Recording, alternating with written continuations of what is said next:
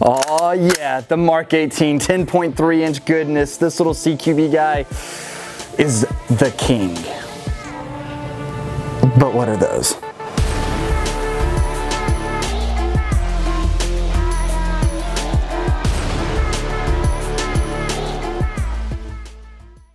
Welcome back everybody, Clint here with Classic Firearms, and if you thought today's video is all about the Mark 18 and why it's superior to everything else, you'd be correct. Just kidding. For those of you that are new to the channel, you probably don't know, though a majority of you probably do know, this little guy right here is one of my all-time favorite rifles. And yes, this is a short-barreled rifle with a 10.3 inch barrel. The Mark 18 has been around for quite some time now and has been just a very popular firearm and has been making a comeback within the last, I don't know, five years or so of just looking cool and being fun to run. But with that being said, the 10.3 inch barrel, as much as this pains me to say, it's not king. All right. I would say that this guy right here would be perfect for CQB, move, maneuvering in and around a vehicle, things like that, right? And I know I can already hear a few of you guys typing away in the comments section like, do you think he's going to start melting and breaking down on camera when he's having to bad talk the Mark 18? No, because I'm here to justify it kind of, but more so, are there better options out there? Well, of course, depends on your needs and everything, but ultimately the answer is yes. All right, and let's go ahead and talk about it really quick. First of all, the 5.56 cartridge, when it was originally designed, was designed to be shot out of a 20 inch barrel utilizing a rifle length gas system. And with the Mark 18, sure, there were needs that arose uh, for the United States Navy, for people, for Marines to be able to board ships and clear boats. And if you've ever been on a boat before, you probably know that you get tight corners and all sorts of stuff like that. They wanted better ballistics, and if you needed to shoot from one side of the boat to the other, better range than like your typical 9mm subguns and things like that, right? So during that time, they, they figured, hey, the M4's been doing pretty well for us. Let's just cut it back even further. And so that's what they did. The only problem is though, like I said before, the 5.56 cartridge was designed to be shot out of a much longer gun. Whenever you take the 20 inch barrel and the rifle length gas system and pretty much just cut it in half, you start running into some issues. The biggest issue is velocity and ultimately the terminal ballistics of the 5.56 cartridge because what makes the 5.56 cartridge so lethal and so effective is velocity. And when you take away barrel length, you take away velocity. Accuracy is still fine. Of course, you're not going to get, you know, accuracy out to 600 yards with this guy because the bullet simply won't travel that far. But if you were to look at something like the Mark 12, which has an 18-inch barrel, sure, you can. If you look at the M16s that, you know, a lot of us Marines are still issued that features a 20-inch barrel, we're still getting great accuracy out to 500 yards. And that's not to say that the accuracy is bad on a shorty. It's just it simply can't reach that. So all that being said, one big thing when it comes to barrel length for the 5.56 cartridge, and this is something that um, not talked about a whole lot, and thankfully some YouTubers out there and some other forums and everything else talk a little bit about dwell time, which is great. So yes, I saw Garand Thumb's video talking about the Mark 18. May have been a little bit of inspiration here, but just throwing it out there. Figured, hey, it's time for us to go ahead and badmouth this guy a little bit, all right? So with that being said, dwell time. Dwell time is ultimately when you think about the bullet passing down the barrel and those gases escaping out the barrel, it is the time from which the bullet passes. One of these might have a better looking gas block on it than the other that you guys can actually see. Right here's the gas block on this guy. This is a 12.5 inch barrel on here, all right? When the bullet is traveling down the barrel, it's being propelled out the barrel utilizing gases, right? So as those gases travel through here, you get to the gas block. At that point in time, the bullet is traveling past where the gas block is and starting to get out the muzzle. That is whenever your dwell time comes into play because that's when the gases are then traveling up to the gas block, down through the gas tube, and then actuate the rifle or pistol in this case.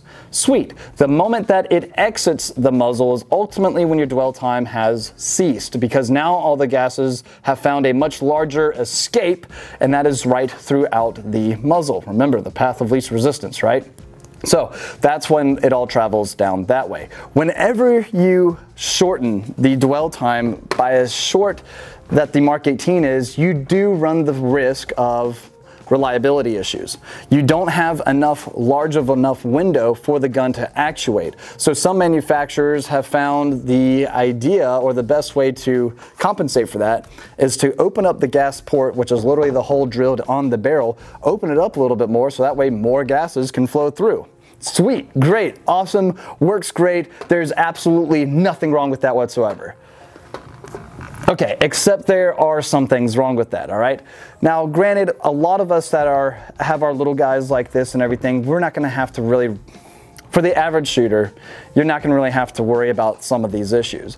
But for some of you out there, this might be a big deal, especially if you're sending a lot of rounds down range because ultimately the more gas you have coming back into the system, the more violent that is, the more the more the gun has to work harder or this the harder the gun is working, I should say and that is going to lead to a wear on parts. It's going to lead to a little bit heavier felt recoil, and that's why I just added a H buffer on mine too, a heavier buffer to kind of slow things down and to compensate for all the extra gas coming through.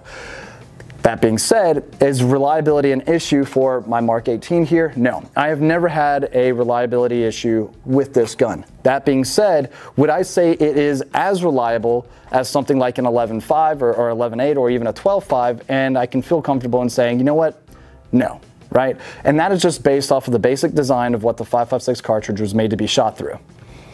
Easy enough. So what is, other than what I've talked about a little bit now, what is really the, is, is one inch really that big of an advantage?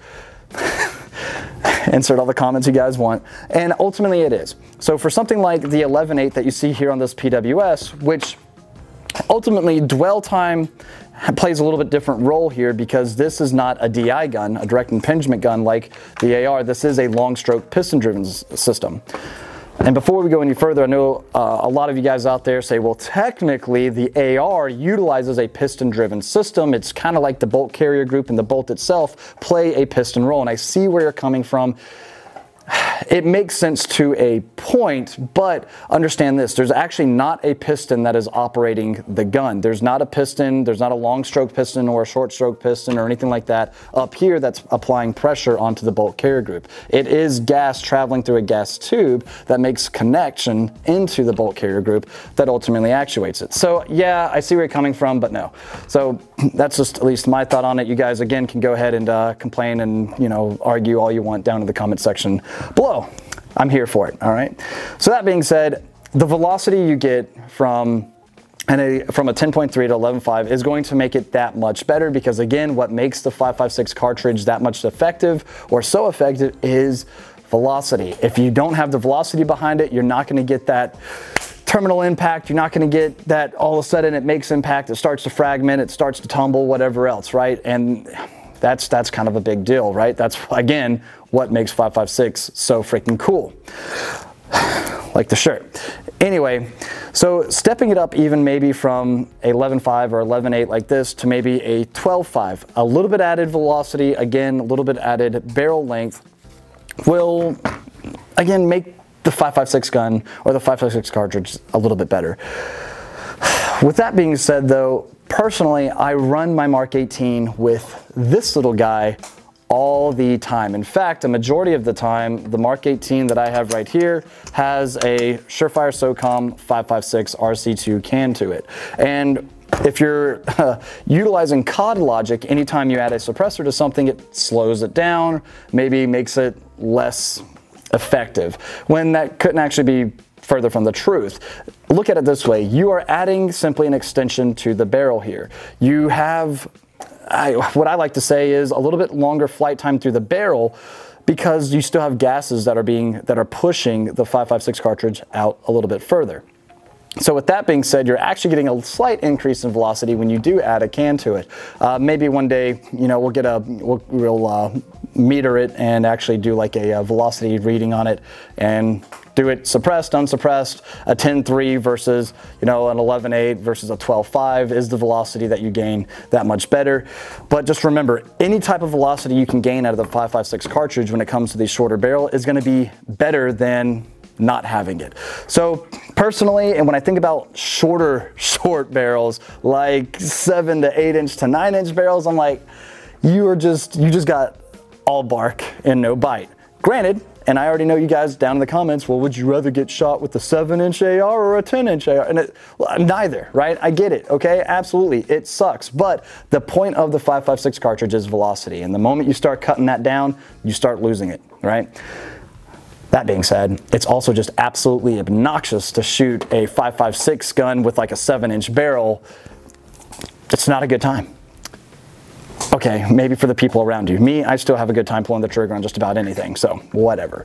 Okay, all this to be said, it really comes down to what your needs are. If you live in a more of a open environment, you know, we were traveling into Nebraska to shoot with Flair, and out there I'm gonna be like, wow, I need a 300 Win Mag out here. Uh, maybe that proof research I have over there, right? Because it's just open terrain out there for as far as you can see.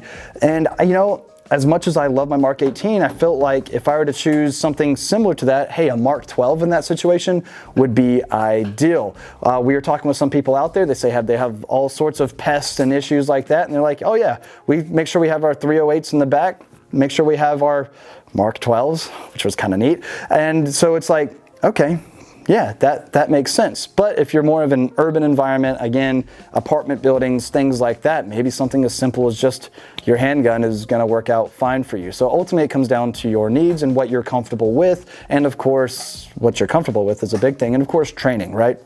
So the 11.8, awesome. If I'm, the reason I'm still so caught up on this guy is because I do run it suppressed all the time. And so I still have what would be considered just about a 16 inch gun here, right? With the muzzle or with the silencer attached.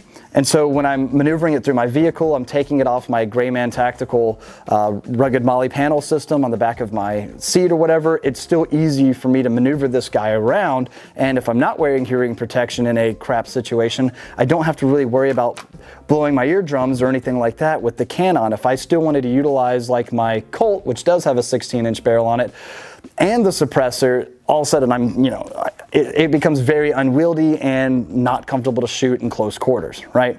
So take all that for what you will. If you're looking to build something new, you want to look at AR pistols, what's out there, well, compare it like this. What do you already have? If you already have a 10.3, why build another one? Go out there and try something else, right?